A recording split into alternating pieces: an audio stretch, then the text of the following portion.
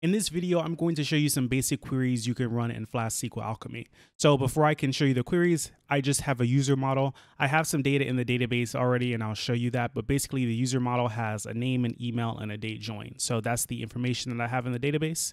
So to get started with this, the first thing I'll do is I'll start up a Python REPL. So I'll just type Python. And then next what I'll do is I'll import the user model. So the user class I'm importing from my app file. And what I want to do is I just want to do the most basic query. So user.query.all. And this gives me all of the results in my table. And I can see exactly how many by putting dot count on the end instead of dot all. So dot count just returns a number. So 26, I have 26 users in the database. The first query that I want to show that's a little more interesting than querying for everything is the filter by. So the filter by allows you to take one field and provide a single value that will be filtered through the result. So this means that in this particular example, any user that has name equals Anthony will be returned in the result. So in this case, I'll do dot count first and we see only one user in my table has the name Anthony. And then when I I do this again with dot .all, I get a list with one item in it. However, when you're using a filter by with just one thing, oftentimes you want to get a specific thing. So instead of using dot .all,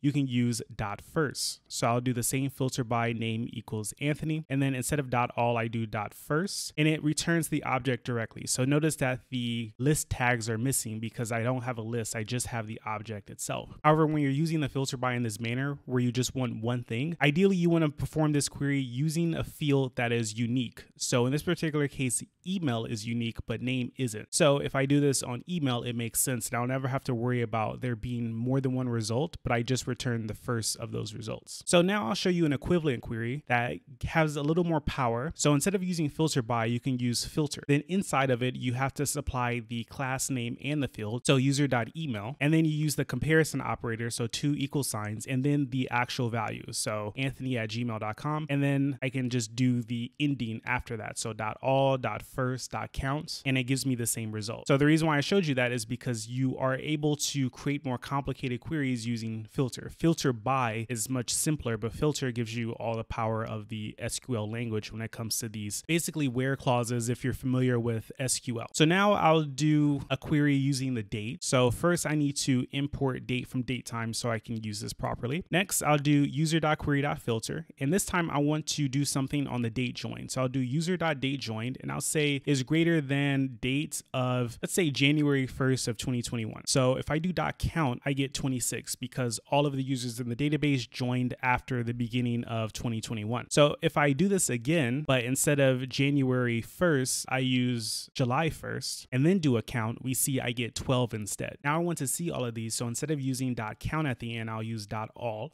and now I can see all of the users that joined after July 1st.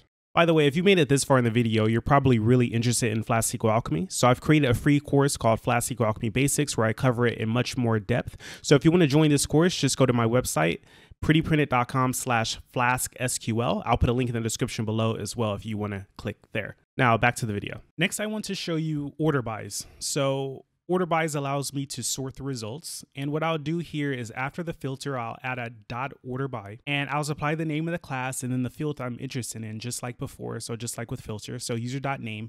And then I can supply either ASC or DESC. So ASC is for ascending and DESC is for descending. So I'll order by user dot name dot descending. And what this allows me to do is see the results in the order with the highest name first. So typically alphabetical order goes from A to Z, but if I do it descending, then it goes from Z to A. So here we see Joseph is the first one, followed by Xylee and then Thomas, and then we see Charlie is the last one. So it's in descending order. And then I can do another order by, and this time I can use the date, and it's basically the same process. So instead of user.name.descending, what I'll do is user.datejoin.asc for ascending. And then this will give me the results in ascending order according to the date that they joined. So what I'll do is I'll return all all the users to a variable called users. So it's basically the same query. And if I just type users, we see there. And then I'll loop over users. So for user in user, then I'll print user.date underscore joined. And now I see the dates are in order because I added the order by to the query. The results are in a particular order and it's ordered by the date. So those are the most basic queries I can think of to show you. Obviously, there are much more, but that's the basic foundation. So as you want more complicated queries, basically add more to the filter and then However, you want to sort them, you can with the order by, and then just know that if you're expecting one result, use dot first, and if you're expecting more than one result, then use dot all.